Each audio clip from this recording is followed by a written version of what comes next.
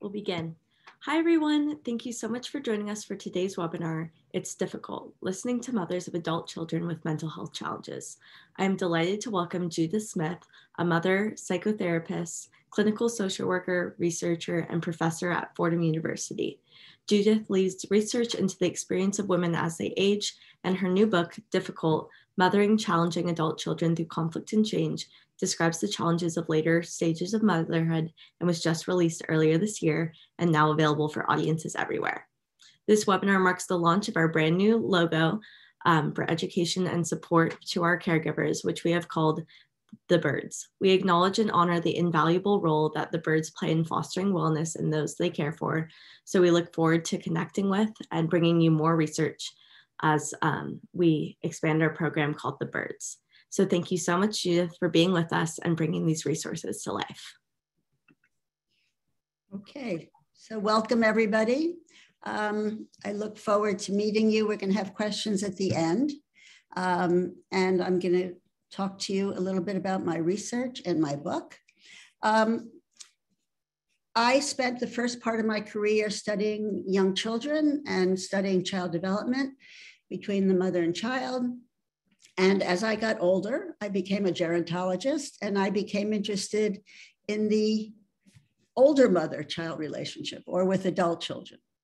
Um, so I became really curious that what was written about mothering in later life and what how were mother, mothers affected by their adult children's problems.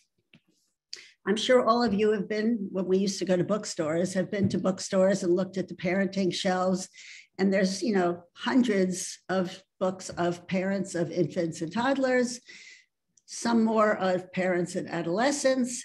Then it gets to about, you know, two or three books about uh, parents of adult children.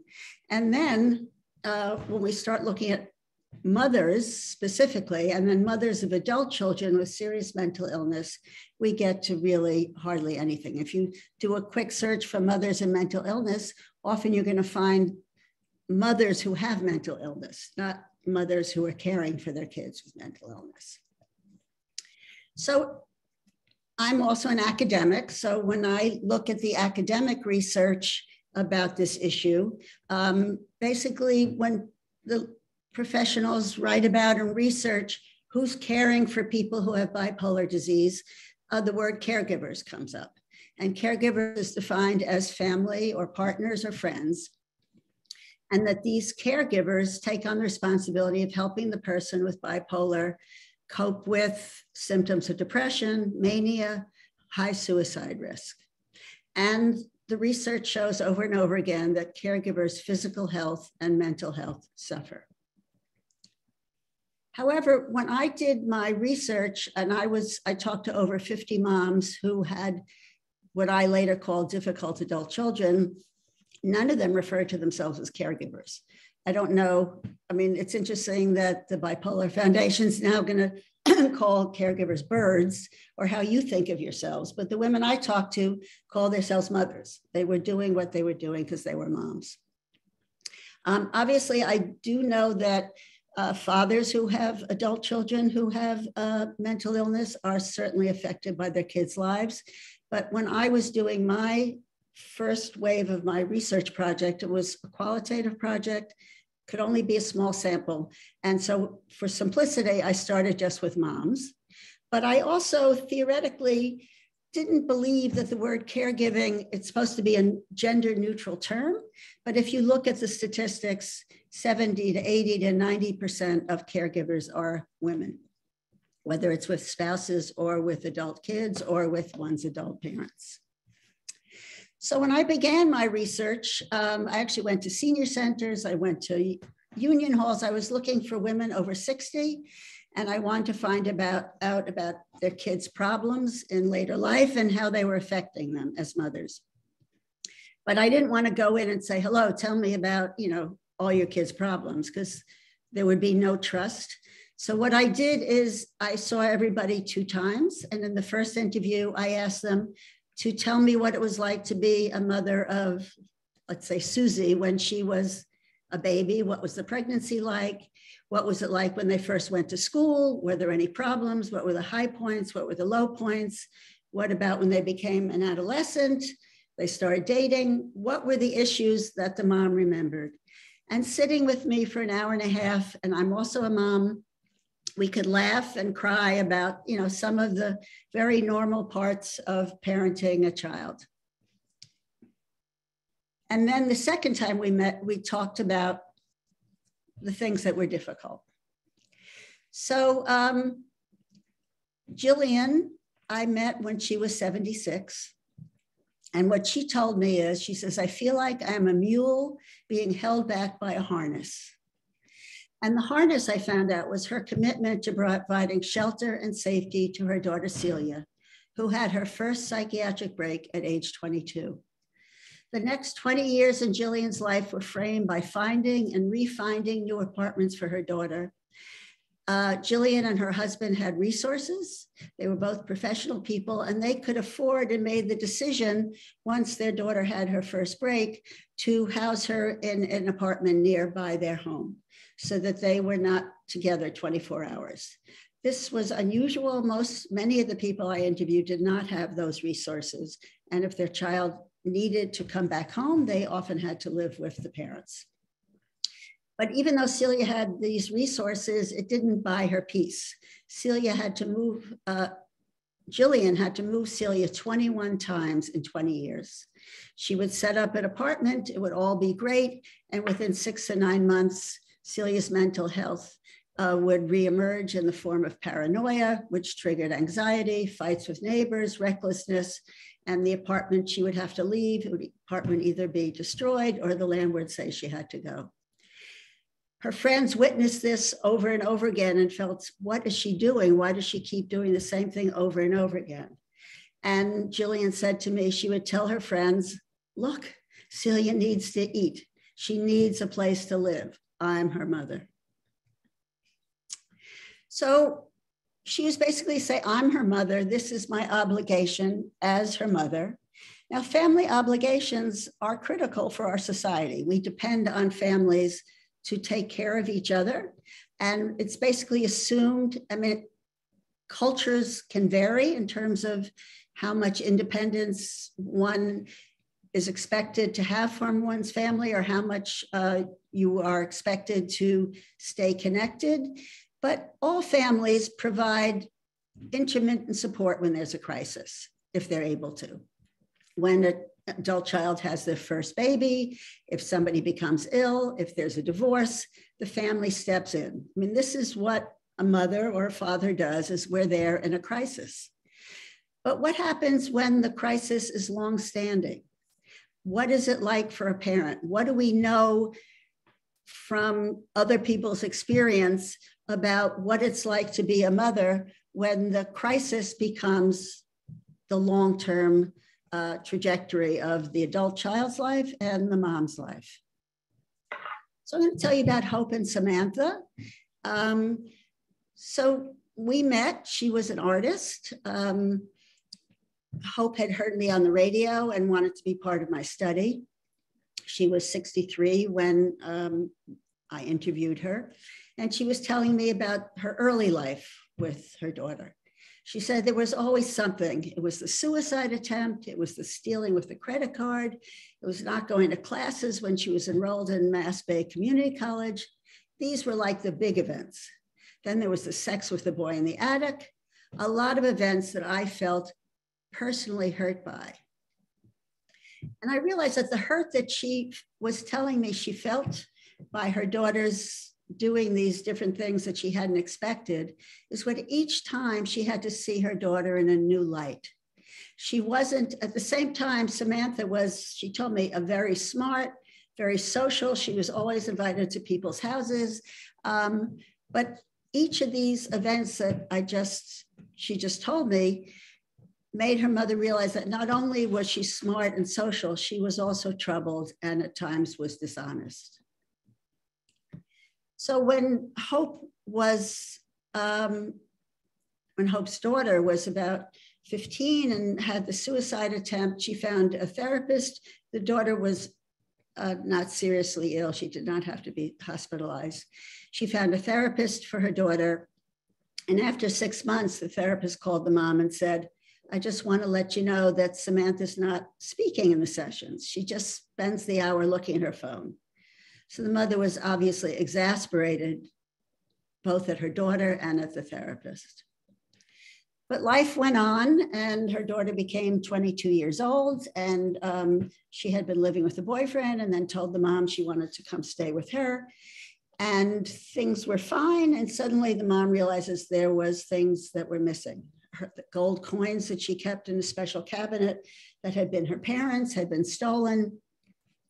And she realized the only person who could have stolen these things was her own daughter. She confronted Samantha, and Samantha very openly said yes, and told her mom, "Look, I'm, I'm taking crack. I'm addicted, and I needed the money." Her mother was both horrified. She knew she had had drug issues. She didn't realize they were this uh, substantial. Uh, she, the mom got on the phone, made all the right phone calls to find a treatment center that would take a 22 year old but they all told her, Your daughter's 22, she has to be the one to make the call. Her daughter had no interest in going into a drug free program. And uh, Hope was felt powerless. She didn't know what she could do. She couldn't force her daughter to go. But what she did do, and to her own amazement, looking back, is she said, You can't live here. I can't be here with you when you're stealing from me. So uh, they had a good relationship, and uh, Samantha at that point worked with her mom to find some place where she could go. There was a homeless shelter that would take her. Um, she was expected to be drug free, but she wouldn't be monitored in the way she would be in a drug treatment center. And she stayed there for nine months, and they stayed in contact with each other. And then uh, she left the homeless shelter, uh, met a young man, Three of them uh, set up an apartment, and things were really quite good, fairly stable. Um, but Hope told me that she continued to have worries, even when her daughter was doing relatively well. Um, she was worried whether her daughter was a food delivery person, um, and she worried because many times they didn't have enough money. They would have their electricity almost turned off, and the mom was able to step in, give the money. And Hope was worried because she knew she was going to retire in three years. Who was, how was she going to step in when she was living on a fixed income? But what was hardest for the mom was realizing that she was holding on to unexpect, unrealistic expectations for their relationship. She, the mom had started attending Al Anon because she knew her daughter had a serious drug problem and she wanted to talk with other parents. She found it very reassuring to hear other people's stories. But what she was told, and if any of you have ever been to an Al Anon meeting, is if you don't expect anything, you won't be disappointed.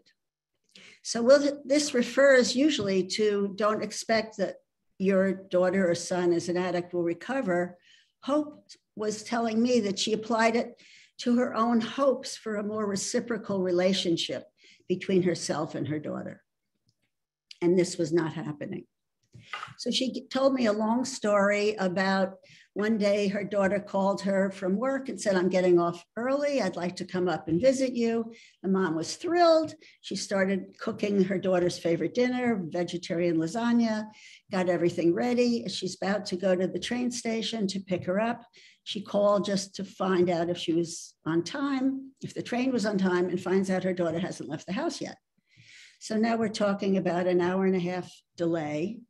The mom said, okay, but she didn't say, don't bother coming. Um, anyway, one hour, two hour, three hours delays. The mom ends up going to the train station. The daughter's not there.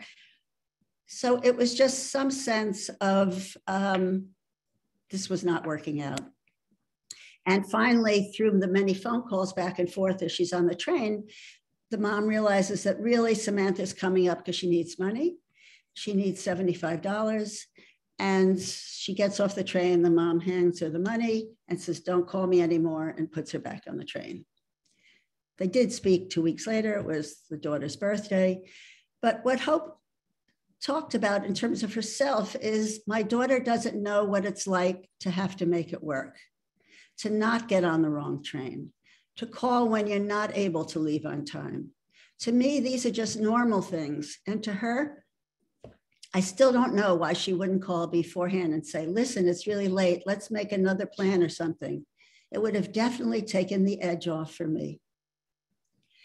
So Hope really described that she said, I feel trapped in this relationship that I'm not willing to give up.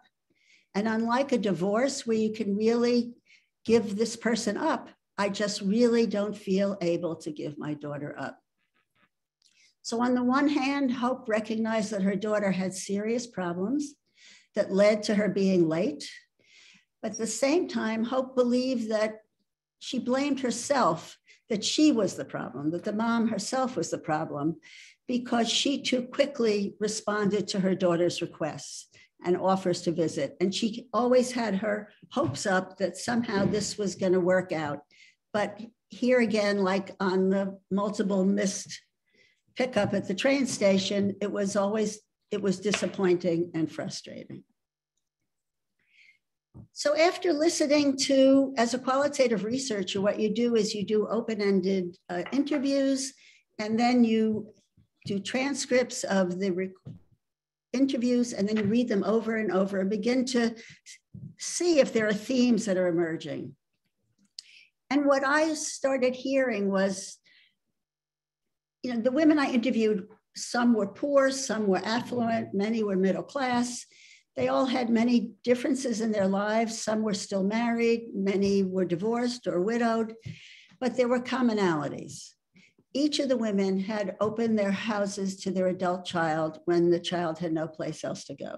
So, one thing you should know that to be in my study, the adult child had to have left some period of time so they had to have been independent enough to uh, move out.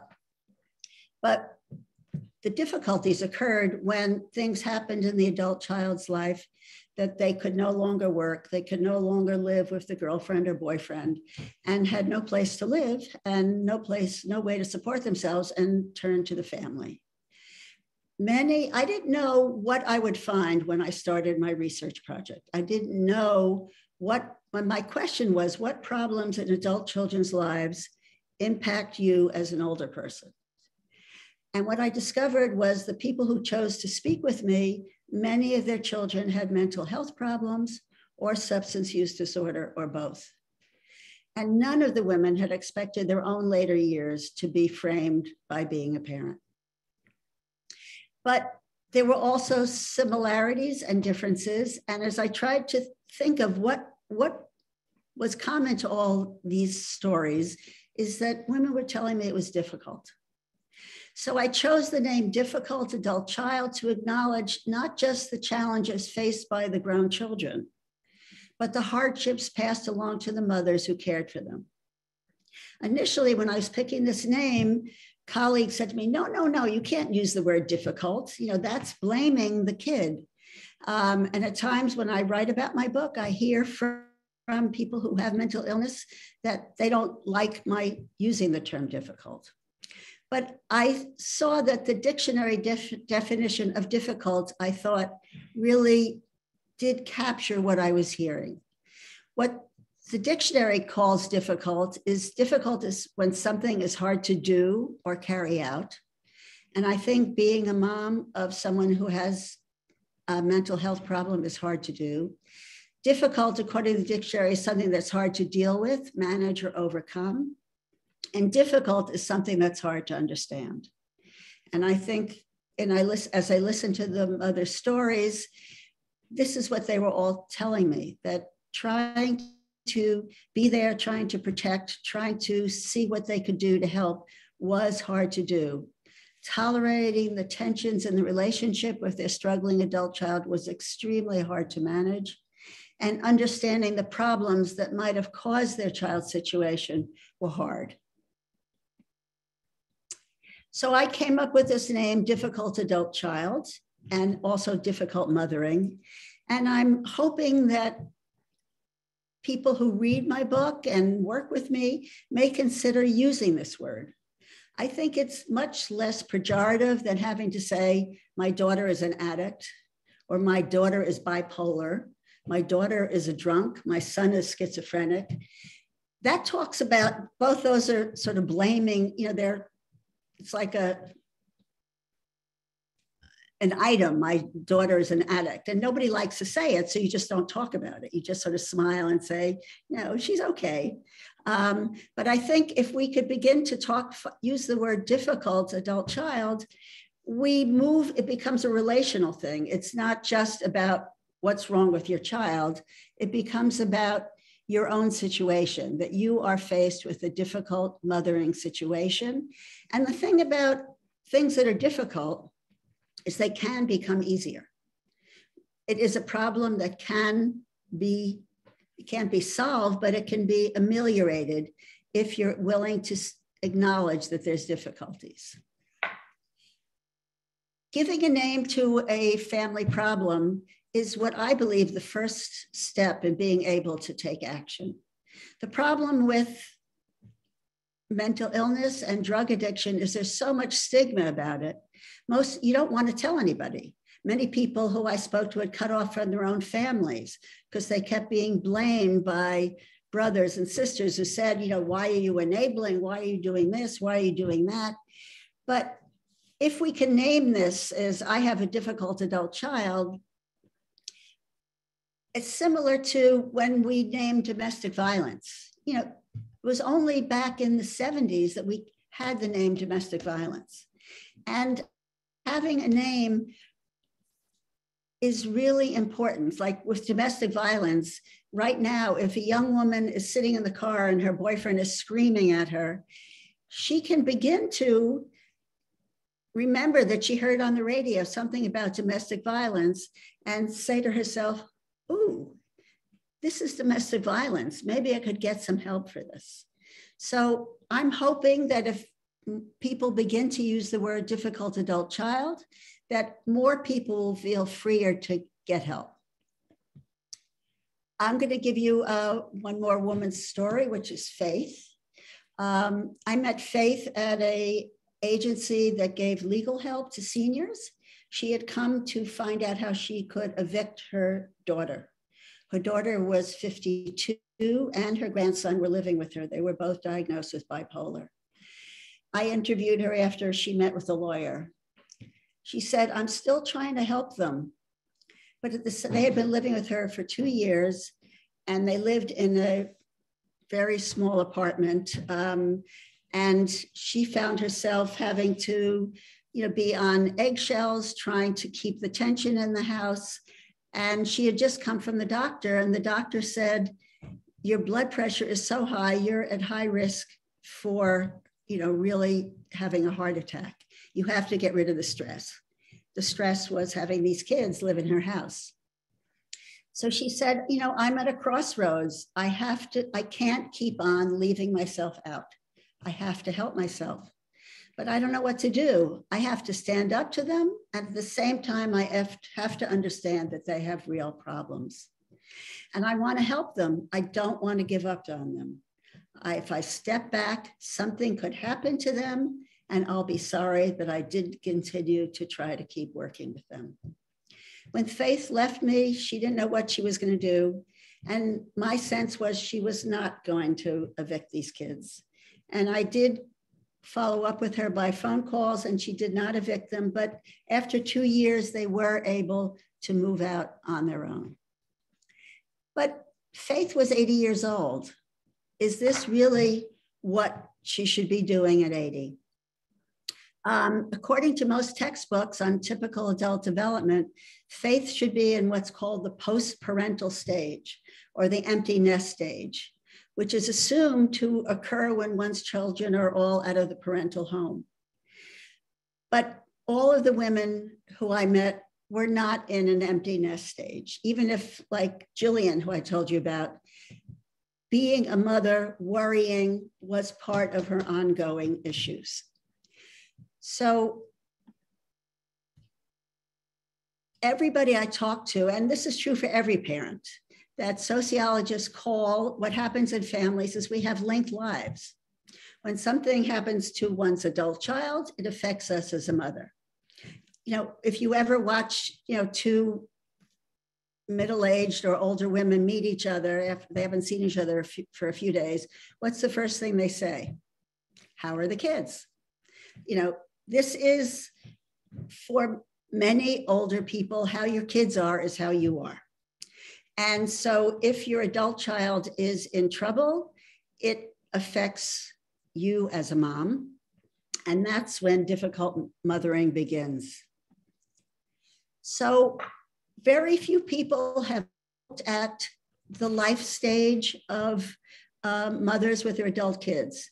It's actually the longest time that we are a mother. We're only a mother of infants for nine months. We're mothers of toddlers for two years. We're mothers of teens for about five. But we're mothers of adult children, perhaps it could be for 70 years, people living to 90 years old. My close friend's mom is going to be 108. So she is a daughter at 70. Um, so we have to begin to pay more attention to what this, how things change. And so I looked at Jillian's life as she had described it to me. She's the first person I told you about who felt like a mule on a harness. And I think this first stage in her mothering of her adult child was her daughter had just graduated college. She was living on her own, and she got a phone call from the mom, got a phone call from a neighbor who said something's not right with her daughter. She's acting weird. So Jillian got a plane and went there, and she could tell something was not right, brought her back to the family doctor, and she had her first hospitalization. After she was stabilized on meds, the mom said, okay, we're going to, this is going to be a fresh start. And that's when she got her daughter her first apartment. They furnished it beautifully. And then, as I told you, this happened 21 more times. But each time for 20 years, she kept hoping that this one will be okay. And for a while it was. And then there was a third stage called, which I called crossing a line. And this was uh, when Jillian felt really betrayed by her daughter because she broke into a family cabin that they had on Lake Michigan where she was forbidden to go. The family already had a history of Celia breaking into their suburban home, but she had never broken into this cabin, which had a lot of personal history for the mom. And she flooded the place, she stole things. Um, and Jillian was just heartbroken. Um, she almost called the police. She almost cut her off. She didn't, but she did feel like something changed inside of her and they stopped getting new apartments for her and they just they did continue to pay for uh, housing for her so she could be in a motel you know but the mother did keep thinking that she was going to find the perfect house for her and then you know 30 years down the line jillian's getting older and her mom described herself as running out of gas that she just did not have the emotional energy to keep being there for each crisis. Um, they continued to be there, but she just was not as invested. She also saw friends were dying. She and her husband, her husband was turning 80. She wanted to spend some time, more time focused on their relationship and just felt tired and wanting something to shift. And then the last stage, which I don't have on here, is um, I'm going to stop this share because I don't think I have the right thing here. Um, one second, folks. I'm just bringing up a different slide. Um, is this right? Let me see where we are. Okay, I'm just going to tell you where I am. And um, the last story was uh, after I'm gone, the last stage in her life, where she started really worrying about who was going to take care of Celia after her death. So they had financial banks that were going to give the money, but they wanted a more hands on um, person to be able to be there.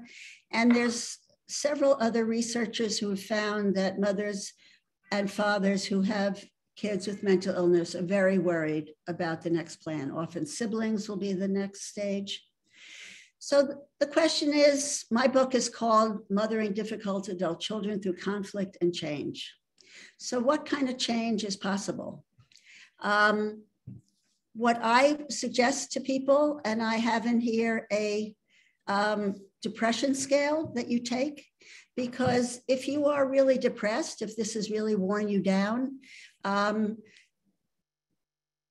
you need to get help. There is help for depression, so that if you need your full energy to be able to continue to help yourself and help your child. And the kinds of changes that I offer in the book are that it's really important to get social support. Joining a group of the other parents is critical.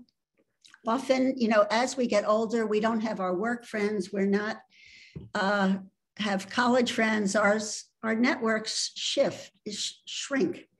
So what's really important is even though you say, I don't want to talk to strangers about things that are so personal, the research shows that talking to strangers really helps and can be much more beneficial. Your, your brother and sister and neighbor are all sick and tired, perhaps, of hearing the story. And joining a NAMI support group, uh, I don't know if the Bipolar Foundation has support groups.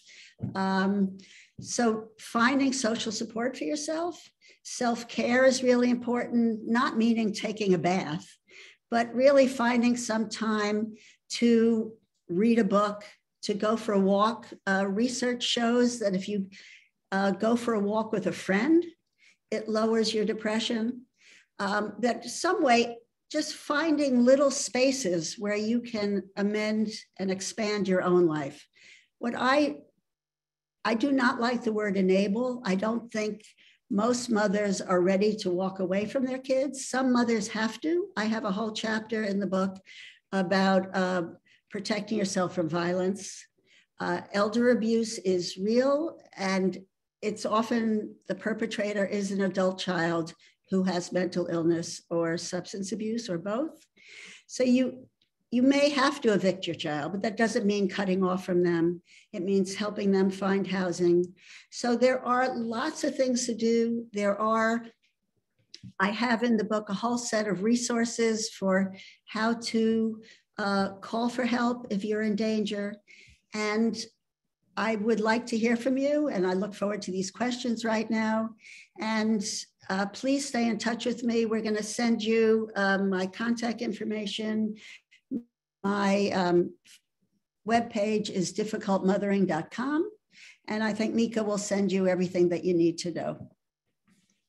Yes, thank you so much, Judith. That was such a wonderful presentation such moving and brilliant stories, and we're so glad that you could be here and share all this information with us.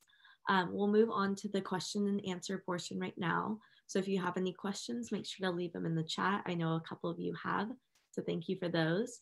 And we'll start out um, um, with one question.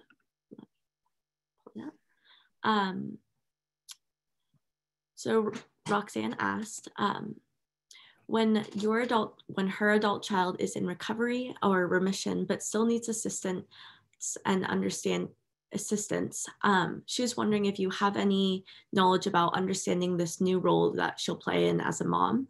Um, do you have any references for recovering a um, bipolar adult and mother child? Well i think one thing that's missing in a lot of our substance abuse care is it focuses solely on the patient. And I think that, like in other countries in the United Kingdom, in Portugal, the federal government has started putting in a lot more money to work with the families. So I think you're talking about a gap that we really, you know, there's two people going through this recovery. Your daughter's in recovery, but you too need some help.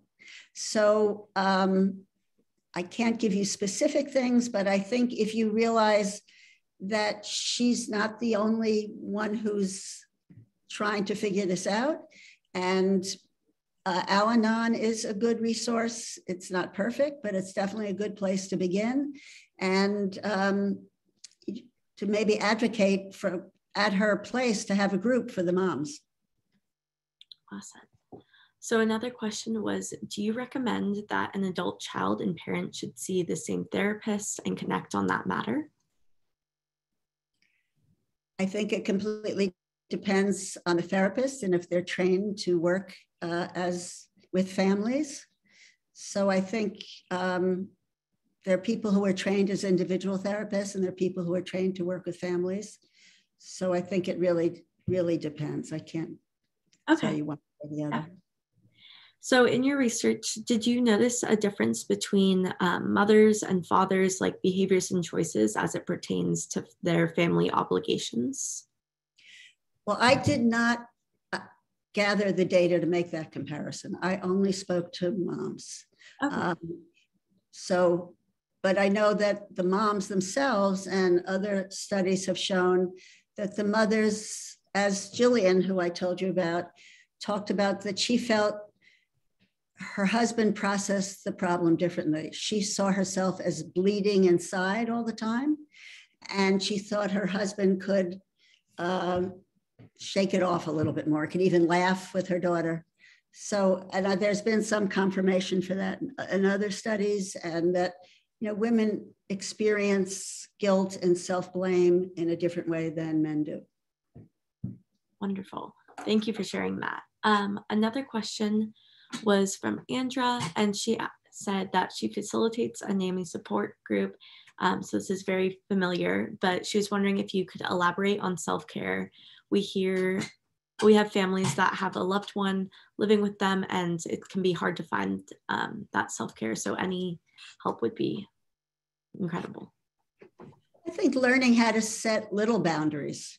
Mm-hmm. Um, there's some wonderful, wonderful program in New York uh, run by JASA LEAP, um, which I can give you the reference for to put on the website.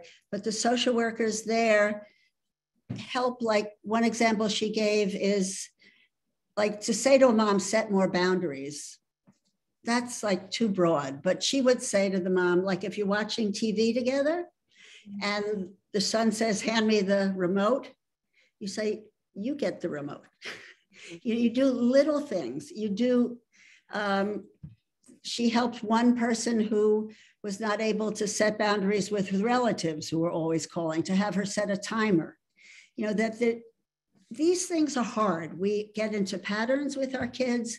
Uh, we're used to letting things go and finding a way to change it. And in the book, I use the stages of change model to ask you to really pinpoint what specifically is most uncomfortable because you're not going to change things that other people think you should change. You're only going to make changes where you yourself are ready to change. So if you're upset that every night you come home and your food's been that you plan to eat for yourself has been eaten, that's something you have to take charge of. You could put a lock on the refrigerator.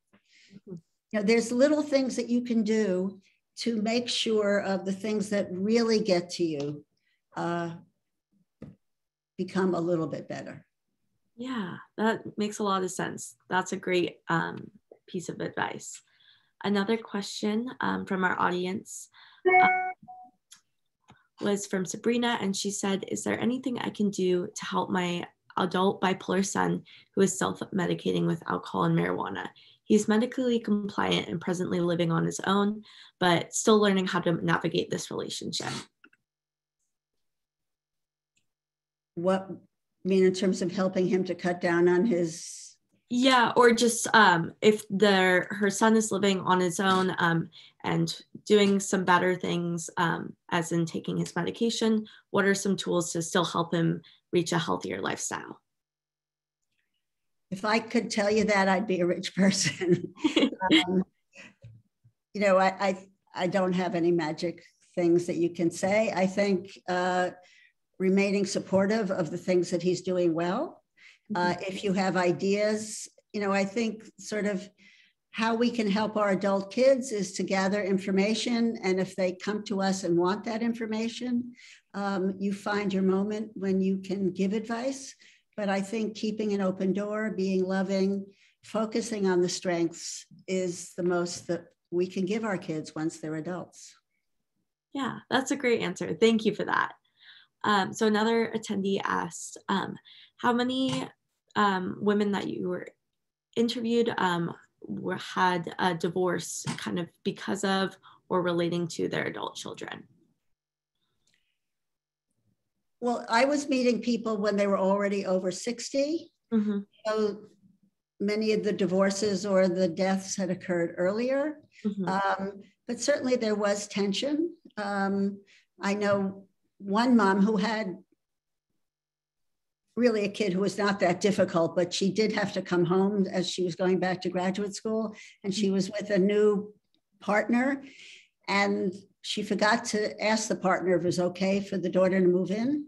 Mm-hmm. And this created a lot of tension, and eventually they broke up.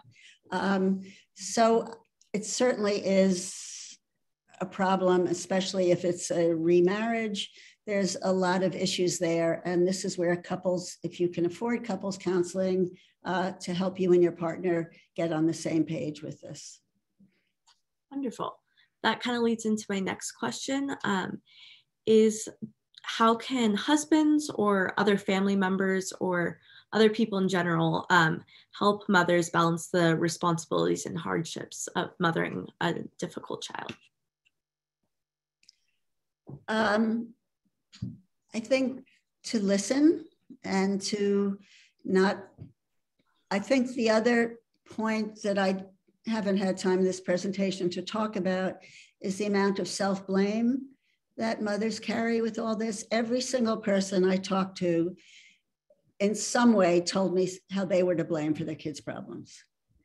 And so I think to be a supportive partner uh, helps not to blame the mom even more and to help her uh, realize that there's two people you know beyond there's three people in this the partner and the mom and the kid but it's not the mother's fault that the adult child has these problems. You might not have been a perfect mother.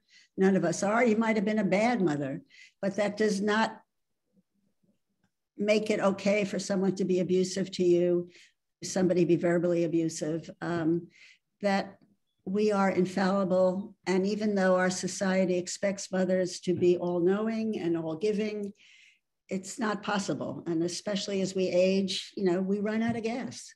And I think the more a partner can be understanding and to help, mm-hmm. um, the better it can be. Definitely. That was great answer. Thank you so much for that. Um, another question we had from the audience was um, what can be done to help an adult child to realize that they have a problem with mental illness and get them to agree to treatment? This is a common question that comes up a lot. So it's a, I know it's a hard one, but any advice would be wonderful. Well, this is one of the dilemmas with mental illness because part of, I never can say the uh, word correctly, agnosi. Do you know how to say it right? Ag- there is a neurological term uh-huh. that has to do with um, that people who have severe mental illness are not aware that they have the illness. It's not that they're being stubborn, it's part of how the brain is. Like, I think we have more common things when people have certain kind of brain injuries, you don't know that your right arm has been amputated. It's similar with mental illness. So this is a big problem and it's we're trying to figure out our mental health systems, trying to figure this out. Um, there's issues about uh, human rights and the right for people you know, we don't put people in long-term institutions anymore. Mm-hmm. Unfortunately, we haven't, and I talk a lot about in the book that this is not just a personal issue, this is a structural issue, that we need an improved mental health system, we need better uh, substance abuse care, and families are being asked to take on tasks that they are not equipped to take on. You, as a mom, are not equipped or trained to be able to help your adult child with their mental illness. You need a team. Your adult child needs work. They need friends.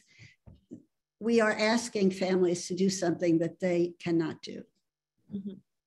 If you could build your dream um, revamp of structural care, um, what would you like to see in it to help mothers um, through their own process? Um, I think my little dream right now is I would like a place where mothers can more openly talk about their issues. I mean, that's why I'm suggesting the name Difficult Adult Child. Mm-hmm. Um, I would like there to be support groups and community mental health clinics where moms could go to mm-hmm. talk in a non judgmental way and feel free to talk to other women, similar to the women's movement when people felt free to start talking about it was okay to say i don't always love my husband or i don't always like sex you know where you could begin to talk freely about some of these issues. I think that we don't like to tell our friends or neighbors or even our partners how hard this is because mothers are not supposed to have mixed feelings. They're not supposed to feel resentful and we need to be able to you need to find some place where women can talk about this. And we need, I just found out that in Sweden, if you can freely, without any cost, join a support group if you have an adult child with mental illness, you can get psychoeducation counseling, you can get respite care.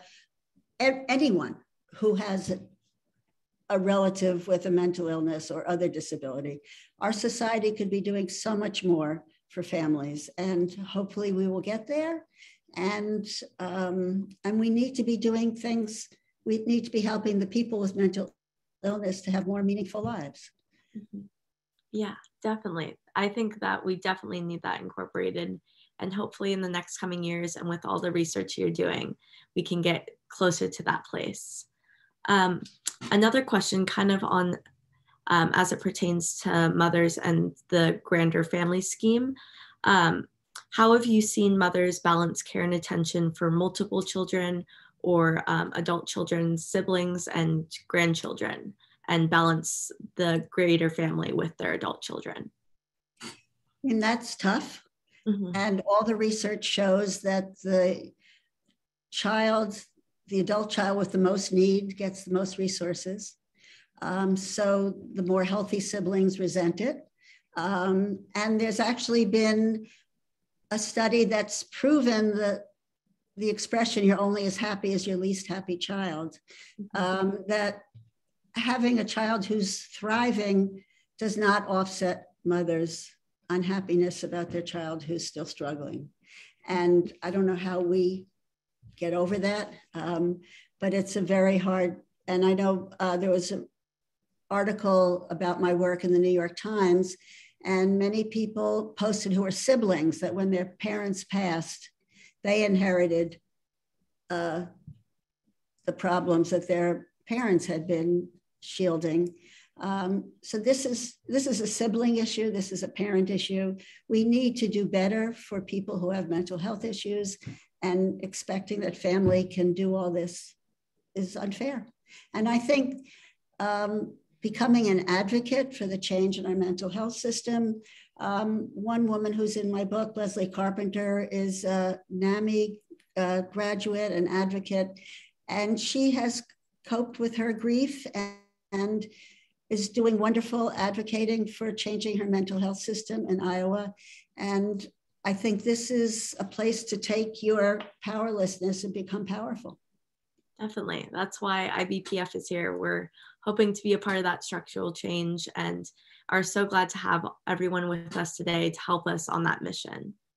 Um, and just to let you know, everyone in the Q&A is really grateful um, for what you're sharing um, and just want to say thank you. So I'm echoing their um, comments. Okay, well, I hope people will stay in touch with me. And um, I'm on Facebook, Difficult Mothering. I'm on Twitter, Judith R. Smith, PhD. And my website will show you how to order the book. And if you like the book, please write a review on Amazon. And because I'm getting wonderful letters from parents who I think feel heard. I think that there's something about going into the inside of how mothers experience this that is needed, is important, and I'd love to be in contact with your people who are here today. Yes, definitely. We'll um, have the link to your book in the comments of um, this video as it's uploaded to YouTube, as well as um, on our website as well at www.ibpf.org.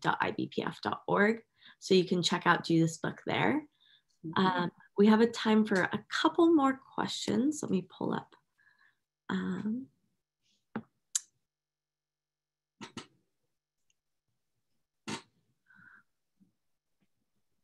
So if um, an adult children um, finds a spouse or romantic partner, how um, do you establish those guidelines or boundaries with those two people? You mean if you have two difficult people instead of one? No, um, just like um, if the a difficult adult child um, finds a romantic partner, how um, can the mother establish a relationship um, maybe the spouse is um, has mental health issues or doesn't just um, a way to f- create those um, boundaries and guidelines. Um, again if there are good things in that relationship welcome it and nurture it. And it's similar with your own child. You have to you know, just be in touch with when you feel um, pushed around or not seen and figure out your moments of when it's best to speak. I mean, I think I have an example in the book of a young man who moved in with his one year old and his partner. And 11 years later, uh, they were there with eight kids. And the mom was being really violated in many ways. But she kept wanting to see her kid as a good kid.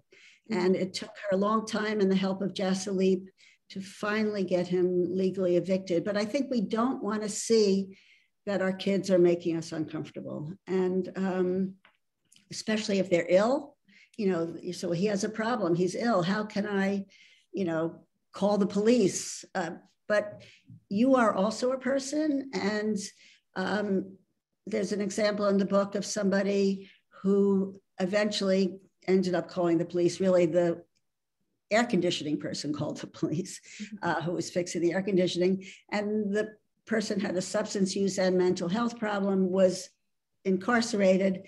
And in jail, he agreed to mental health care. And through the courts, he got help. So even your worst case scenario that you have to send your kid to jail, you can stay, remain their advocate, help them if they choose to uh, get ask for mental health care, get a mental health lawyer, and maybe they will get mandated care.